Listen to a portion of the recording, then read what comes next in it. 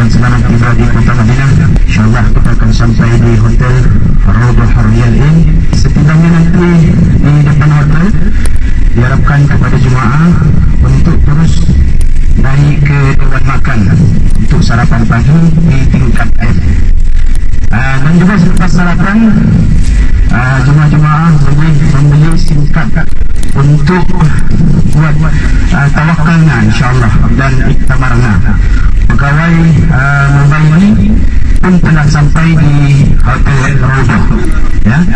Uh, sekiranya uh, sekiranya jemaah uh, nak naik ke bilik dulu uh, diperbolehkan janji sebelum uh, zuhur insyaAllah semua jemaah telah pun uh, membeli singkat untuk uh, buat prok apa uh, tawakalnya insyaAllah syarat untuk masuk ke Masjid Nabawi adalah uh, mesti ada tawakalnya ya.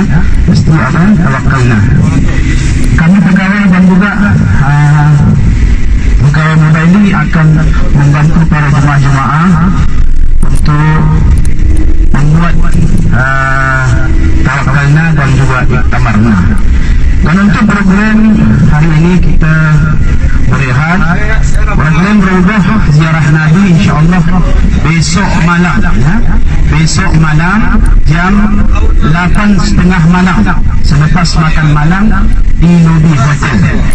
Kita akan masuk ke dan makam Nabi insyaAllah jam 9 suku jadual daripada muassasah ya jadual dari muassasah jam 9 suku insyaallah akan uh, masuk korodoh dan makam nabi Ada. uh, untuk ziarah Baik. program kita insyaallah hari uh, Selasa pagi Selasa pagi insyaallah uh, ziarah kota Madinah ke Masjid Kuba Kiblatain Jabal Uhud dan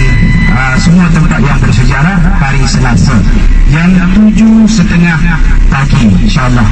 Untuk waktu makan uh, sarapan pagi selepas solat subuh sehingga jam 10 pagi. Dan makan tengah hari jam uh, satu setengah uh, jam satu tengah hari hingga pukul 3 petang.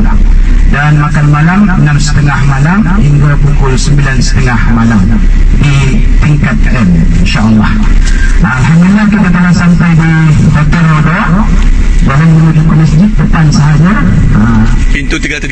ha, ya. Masuk uh, uh, lima, lima minit je